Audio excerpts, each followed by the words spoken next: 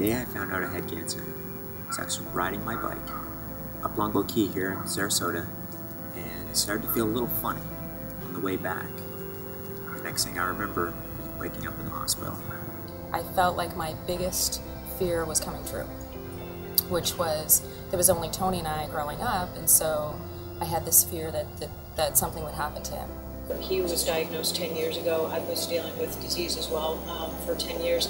So we've really had these parallel, um, this parallel journey together through cancer.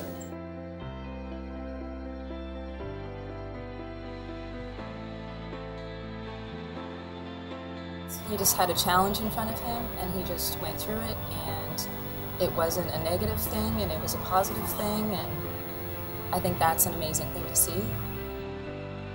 I'm not sure how I felt when I first was diagnosed. You know, obviously like, in shock like everybody else. Yet I just kind of at that point I just, you know what, I've got to put my head down and, and deal with it. He was going through radiation, I think on a daily basis, and so we would ride our bikes to radiation and ride, ride our bikes to work.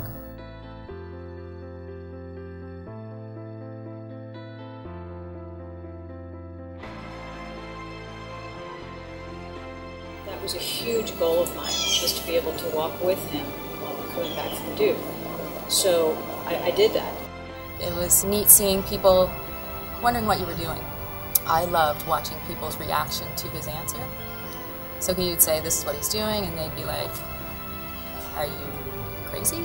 Or are you, you know, do, do you know what I mean? Like they just didn't, didn't really know, and so that was really, that was really fun watching that. And watching people really, the people who got it, got really inspired.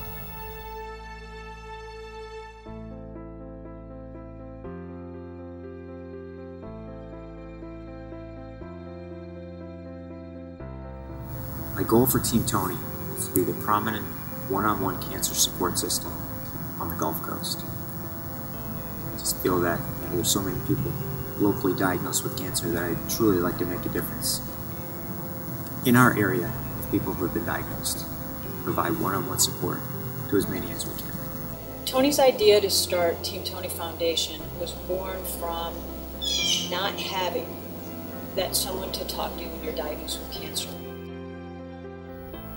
He felt that um, through his struggles with cancer and getting diagnosed, he always had a core group of people always helping him. So it was a team basis, and because he was an adventure racer, everything was based on a team. I just wanted to be a part and feel like helping other people go through what I went through. You can live, and here's some people who have gone through the same thing you are going through now, and they're surviving and living their life, and you can too.